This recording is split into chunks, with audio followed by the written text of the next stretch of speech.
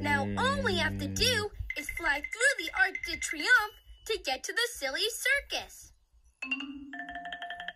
Uh-oh, what's the matter, Rocket? it's the silly clown circus. Oh no! Polka dot pants, dizzy dress, and blue shoe are about to start the show. Without Silly Sock. there so he can be in the show too.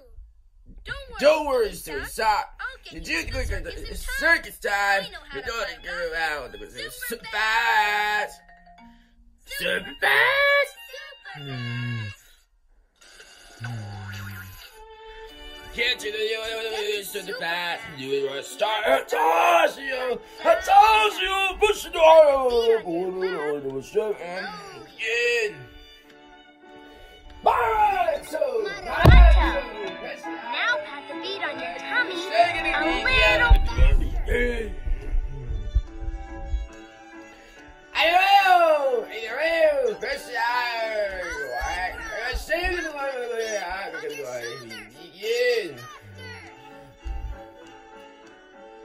Two! You're right! That's.